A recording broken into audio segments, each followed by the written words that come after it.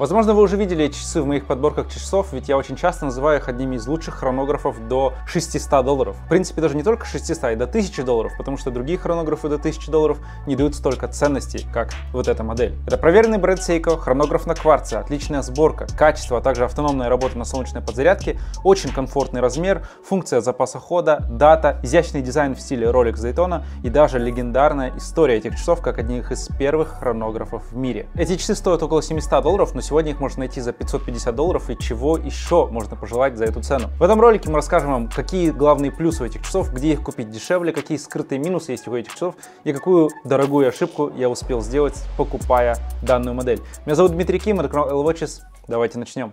Когда дело доходит до часов хронографов, чаще всего выбирают именно кварц. Это вполне объяснимо, они стоят в 3, иногда даже в 6 раз дешевле, чем их механические версии. Так как они кварцевые, они намного более точные, чем механические часы. Также они могут быть тоньше и за ними не нужно так ухаживать, как за механическими часами. В этом плане у кварцевых хронографов очень много преимуществ и данная модель пользуется ими всеми. Seiko Speed Timer, или как еще называют его другие фанаты часов, Seitona, потому что она очень похожа на Rolex Daytona. Эти часы мне помогла приобрести платформа Joom, это популярная площадка площадка по покупке товаров с Азии по, с доставкой по СНГ. А, вообще эти часы стоят около 700 долларов, там сейчас их можно купить за 550 долларов, что выгода 150-200 баксов, что очень круто. Ссылка будет в описании. Также снизу я оставлю ссылку на подборку популярных часов, которые можно найти на Joom. Это есть дешевые Casio, G-Shock и многие другие бренды, которые на Joom можно купить дешевле, чем в других магазинах. Эти часы вдохновлены старой моделью Seiko 6139 Chronograph 1969 года выпуска, которые были очень популярны в свое время. Эти часы успели стать легендарными, потому что они были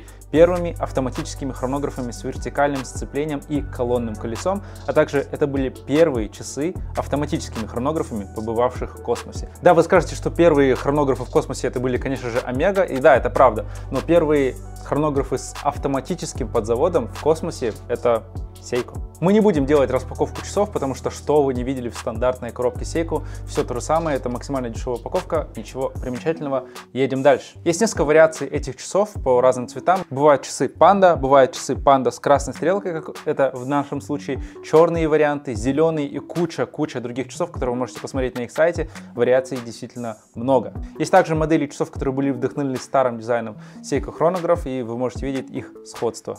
Также есть два очень удобных размера этих часов. Есть в размере 39 мм, что идеально подходит на большинство рук, и 41 мм, как в данном моменте, что тоже очень универсально и выглядит шикарно. Размеры они действительно подобрали здорово, определенно подойдет на большинство рук. Также есть механические версии этих часов, они стоят дороже, но выглядят тоже отлично. По характеристикам, диаметр этих часов 41,4 мм, толщина 13 мм, от ушка до ушка 45,9 мм и размер браслета 21 мм. Здесь у нас слегка согнутое сапфировое стекло с антибликовым покрытием под стеклом. Водозащита этих часов в целых 100 метров и вес этих часов 164 грамма. Это можно чувствовать, что они довольно тяжелые на руке и сделаны очень качественно. У них тяжелый кейс и тяжелый браслет. В принципе, за эту цену постарались и не сэкономили. Внутри стоит механизм калибр V192. Это, конечно же, механизм от Seiko, и он заряжается на солнечном свете. Также может заряжаться от хорошей лампы. Его точность плюс-минус 15 секунд в месяц, но, в принципе, Seiko пишет такие показатели, а на самом деле они работают даже точнее, чем эти показатели. Часы довольно напичканными разными функциями. Среди них есть такие функции, как внутренняя защита от перезарядки, запас хода. Когда вы заряжаете часы, вы можете посмотреть на у 6 часов есть специальная стрелка запас хода, которая вам говорит, насколько разряжены или заряжены эти часы. Эти часы заряжаются около 5 часов и могут вам за, на этом заряде прослужить еще полгода. Есть также 24-часовая шкала, которая помогает вам определить сейчас день или ночь. Дата на 4 часов, которая очень глубоко стоит здесь под циферблатом. Хронограф, который записывает не только до 60 минут, но также отсчитывает каждую пятую долю секунды. То есть у нас здесь есть на внутреннем безеле дополнительные а, секундные отметки и каждой доли отметки. И так как стрелка от хронографа делает 5 свипов в секунду, то можно отметить каждую пятую долю секунду через этот хронограф, что повышает точность этих часов. На безеле есть также тахометр и закручивающаяся задняя крышка для полной безопасности и водонепроницаемости. И кроме всего этого, плюс есть дополнительная функция, если ваши стрелки при разряде батарейки, например, например, собьются и будут хронографы стоять там условно неровно, а как-то криво, то если правильно нажать комбинацию из кнопок, то можно правильно настроить стрелки и обратно их выставить в нужное положение. Циферблат обработан пескоструйной обработкой, что обеспечивает высокий уровень читабельности и разборчивости, что крайне важно для спортивных часов от Prospex. Кстати говоря, а, логотип Prospex как раз здесь и виден под логотипом Seiko, что показывает, что это не просто Seiko, а, а линейка Prospex, которая славится своей надежностью и функциональностью. Минутная и часовая стрелка тоже очень красивые, довольно грубые, и также вы можете видеть, что на них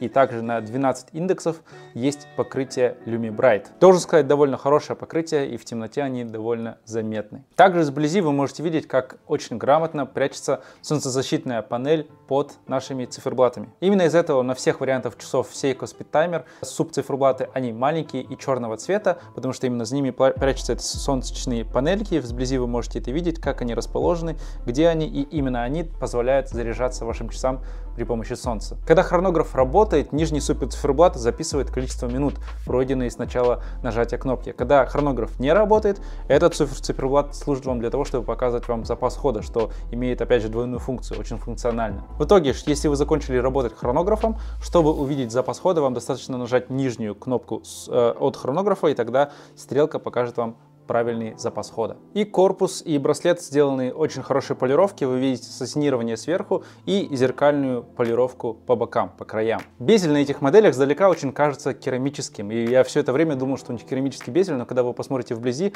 окажется, что это все-таки не керамический безель на старых, на новых моделях. Это всегда металлический алюминиевый безель. В принципе, я бы не сказал, что это делает его хуже. Это вполне достойный безель. Сбоку вы видите самую обычную коронку. Она у нас крупная, очень рифленая для хорошего гриппа для того, чтобы было легче менять время и крутить эту коронку.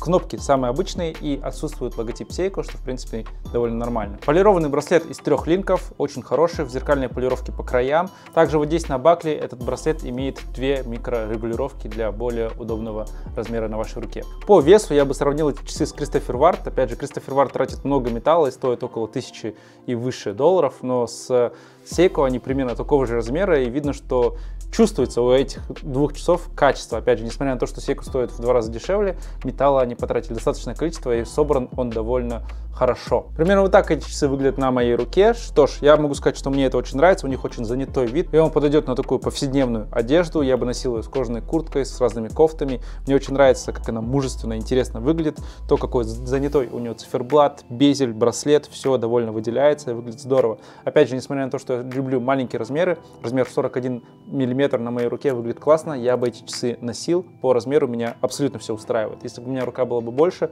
также размер выглядит очень хорошо подходит на большинство рук, как я уже сказал, просто идеально. Среди разных расцветок вы можете найти что-то, что подходит больше вам. Возможно, в черном цвете вам понравится больше. Мне этот вариант тоже довольно-таки нравится. На самом деле, если бы я выбирал бы для себя единственный хронограф на сегодняшний день, возможно бы я выбрал бы именно эти часы. Выглядят шикарно, чувствуются отлично, очень много функций, подходят по размеру, по качеству, по функционалу. Из минусов кому-то может не понравиться, что у него дата стоит на 4 часах, и это, конечно же, мешает балансу э, циферблата, те, кто, там, как Артем Персидский, например, любит продираться прям каждой мелочи на циферблате, чтобы чувствовать баланс их часов, меня, в принципе, дата вполне устраивает, это функционально, она тем более так глубоко стоит, что это кажется какой-то тоже необычной функцией, скажем так. Но если кого-то это раздражает, имейте в виду, она здесь вот такая. Для кого-то также минусом будет то, что это кварцевые часы, но опять же из-за того, что секундная стрелка намного настолько маленькая, из-за того, что а, хронограф работает как механические часы, из-за того, что у них есть правильный вес и хороший механизм, в принципе, опять же, кварц здесь максимально незаметен. Да и плюс, как я уже сказал, у каждого человека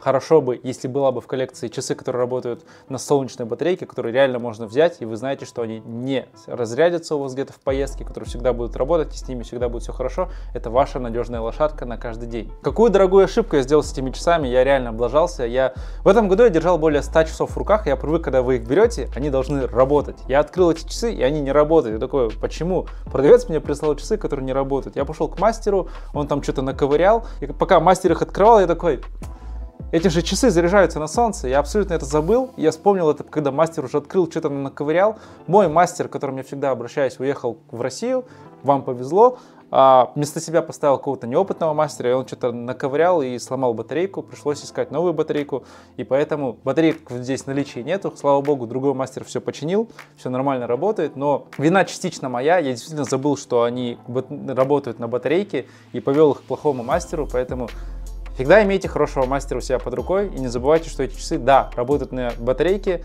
э, на солнцезащитной батарейке, поэтому если они не работают, сначала ставьте их на солнце, ждите 5 часов и потом все будет отлично. Из конкурентов этих часов есть разве что Булова, э, который тоже побывала на Луне, кстати говоря, но у Буловы тоже классный механизм, тоже классная точность и классная сборка, но они размером от 43,5 от 45 мм, и большинству эти часы не подойдут, в то время как эти часы Опять же, супер размер, универсальный, на женщин, на мужчин, все подойдет, поэтому выбирайте, если вам понравится, заказывайте.